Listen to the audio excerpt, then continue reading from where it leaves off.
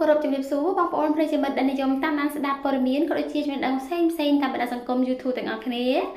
ថ្ងៃនេះ Channel យើងខ្ញុំបាននាំប្រិយមិត្តមកជួបជាមួយនឹងព័ត៌មានថ្មីថ្មីទាក់ទងទៅនឹងព្រឹត្តិការណ៍ប្រចាំថ្ងៃនៅក្នុងសង្គមចា៎អត្ថបទព័ត៌មានរបស់យើងនៅពេលនេះមានចំណងជើងថាពិតជាគួរឲ្យសោកស្ដាយមែនសម្ដេចដេជោហ៊ុនសែនចាត់ទុកការសោយទីវង្គតរបស់ព្រះរាជបុត្រីព្រះរាមបុប្ផាទេវី ជាការបាត់បង់ធនធានមនុស្ស ផ្នែកវប្បធម៌ដ៏សំខាន់នៅកម្ពុជា ចាដើម្បីឲ្យជ្រាបកាន់តែច្បាស់ពីរឿងរ៉ាវទាក់ទងទៅក្នុងអត្ថបទព័ត៌មាននេះកាន់តែលម្អិតសូមប្រិយមិត្តតាមដានទស្សនាជាមួយខ្ញុំក្នុងអត្ថបទនេះខាងក្រោម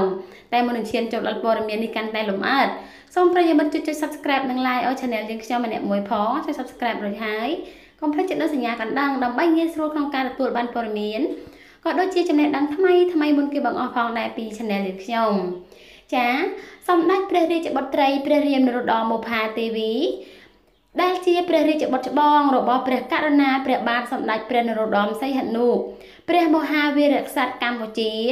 ដោយសោយទីវង្គតនាវេលាម៉ោង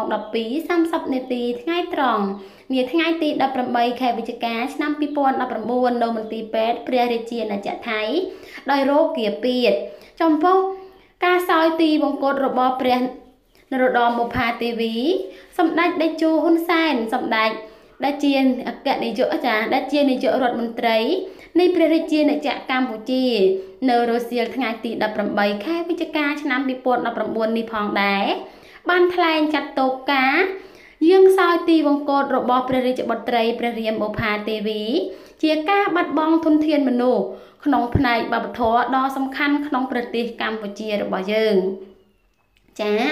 សម្ដេចព្រះរាជបុត្រីព្រះរាមបុប្ផាទេវី ជាព្រះរាជបុត្រច្បងនៃព្រះករុណាព្រះបាទសម្ដេចនរោត្តមសីហនុនិងម្ចាស់ម៉ែ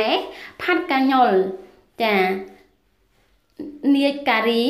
នៃរបាំព្រះរាជទ្រព្យព្រះអង្គត្រូវជាព្រះរាមរបស់ចាបង្កើតមេដា